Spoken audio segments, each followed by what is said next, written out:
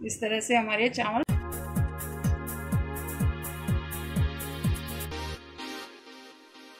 आज हम वेज पुलाव बनाने जा रहे हैं। इसके लिए हमने सबसे पहले एक गिलास चावल लिए हैं। इसमें हम मैं घर में जैसे चार या पाँच लोगों के लिए एक गिलास चावल बनाती हूँ।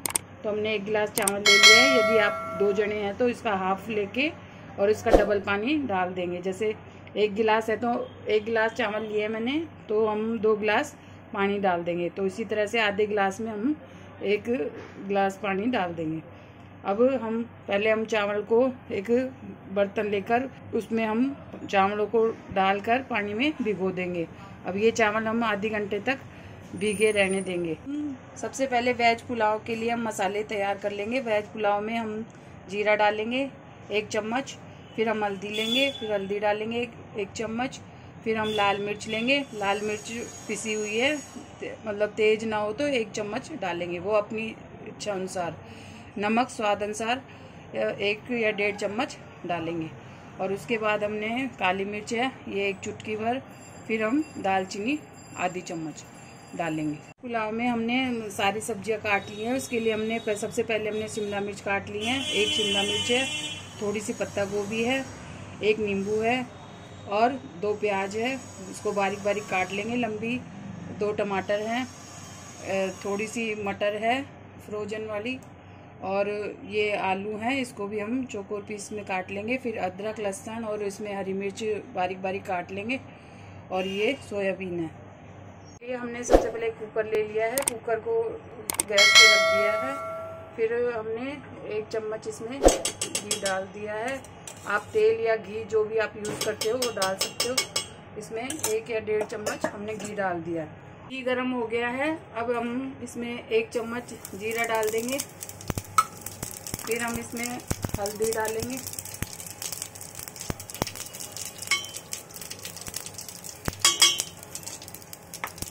फिर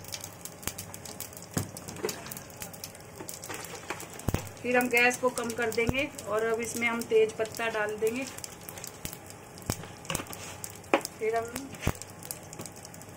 इसमें एक दालचीनी डाल देंगे।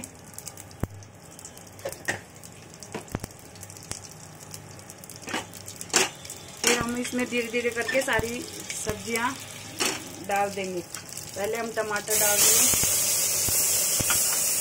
फिर इसमें हम प्याज डाल देंगे। फिर हम इसमें शिमला मिर्च डाल देंगे।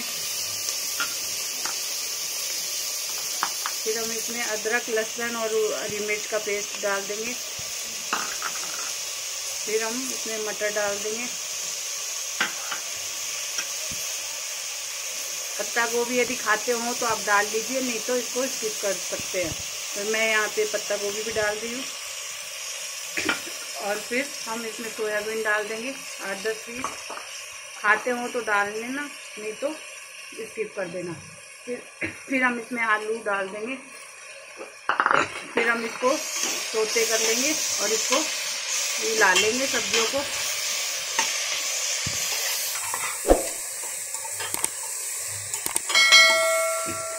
सब्जियों को हम मिलाते रहेंगे थोड़ी देर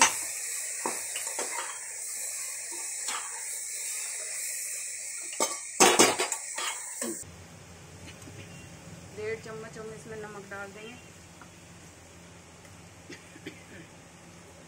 मिर्ची यदि तेज है तो लाल मिर्च इसमें आधा चम्मच अपने हिसाब से डाल सकते हो। फिर हम इसमें दालचीनी पाउडर डाल देंगे, आधी चम्मच। फिर हम इसमें काली मिर्च पिसी हुई आधी चम्मच। फिर हम इसमें थोड़ा सा गरम मसाला भी ऐड कर देंगे। यदि खाते हो तो डालना, नहीं तो स्किप कर देना। फिर हम इसमें पानी में भीगे हुए, ये चावल आधी घंटा पानी में भीग चुके हैं और अब हम इसको कुकर में डाल देंगे।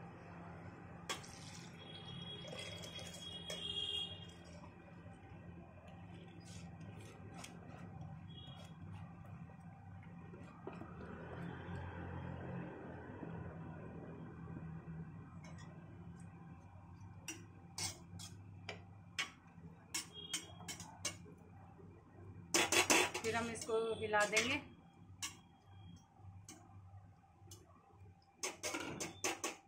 और फिर हम लास्ट में हम फिर आधा नींबू इसमें निचोड़ देंगे। इससे चावल खिले खिले और अच्छे बनेंगे। फिर हम इसको फिर से हिला देंगे। फिर इसमें पानी डाल देंगे। और अब लास्ट में हम फिर इसमें कुकर का ढक्कन लगा देंगे। और अब एक सीटी आने तक इसको फुल फ्लेम पर कर देंगे। और एक सीटी आते ही हम इसको बंद कर देंगे। अब वेज पुलाव के लिए अब कुकर में एक सीटी आ चुकी है और अब हम इसको बंद कर देंगे। और फिर हम भाप में 10 मिनट तक इसको पकने देंगे। और फिर खुलने के बाद हम आपको सर्व करते हुए दिखाएँगे। पुलाव हमने बना लिए हैं और अब इस पुलाव को हम खोल कर इसमें बाउल में हम सर्व करते हुए आपको दिखाएँगे। अब मैं इसको कुकर को खोल रही हूँ और अब इसको खोल कर ढक्कन को इधर रख देंगे। फिर हम चावलों को मिक्स कर लेंगे।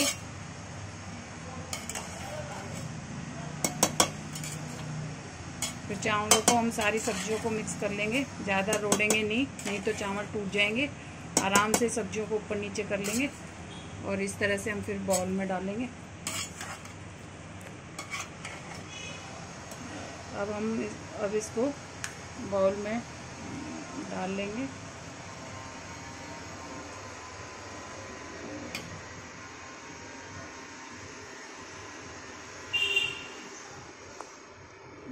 अब फिर हम इसके ऊपर धनिया की पत्तियों से इसको गार्निश कर देंगे।